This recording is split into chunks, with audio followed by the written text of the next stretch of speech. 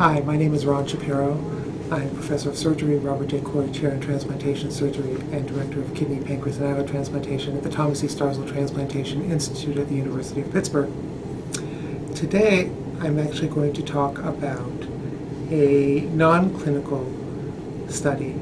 Uh, this is a study in cardiac xenografting in uh, double gal knockout transgenic pig donors who um, whose hearts were transplanted into baboons.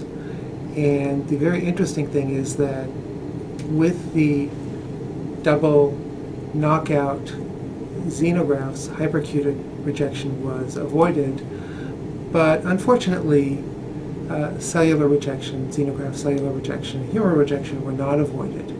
And uh, the only point of this is that while we're we are all excited about the future advent of uh, xenogenetic transplantation with transgenic pigs, we have, I think, a long way to go.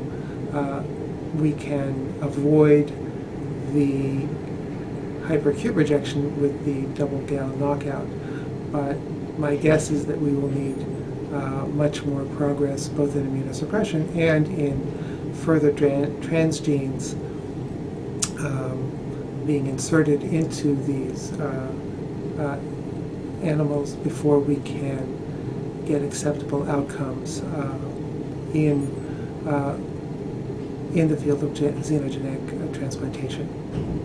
Um, However, this is a very interesting study, and uh, I know that I usually talk about clinical things, but thought that this was worth uh, uh, the interest and attention of the clinical community. Thank you very much.